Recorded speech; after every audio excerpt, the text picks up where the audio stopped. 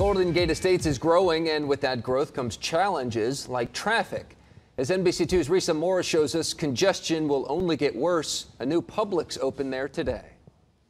This grocery store has been long awaited. The store faced delay after delay, ranging from water hookups to fire inspections. But now that it's open, the concern is that traffic here in Golden Gate Estates is going to just be crazy. So Collier County is doing a study to figure out if these roads can keep up with demand. People in Golden Gate Estates are comparing today to Christmas morning. You see how the parking lot's pretty full? I, yeah, the smiles on people's faces really says a lot.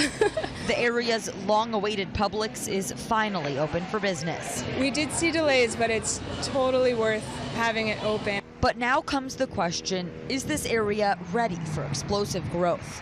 That's what Collier County is looking into with a one and a half year traffic study. Everyone who's buying new homes, they're coming out here because it's just cheaper. So we know that there's tons of growth happening right now, and so it's just going to keep on doing that. The study is looking at possibly widening Randall Boulevard and even connecting Randall and Oil Well Road. People who live in the estates say the study is desperately needed, especially as the growth continues. I think it's going to be needed. I mean, if we're growing, it's it's something that we're going to need. So, just an adjustment.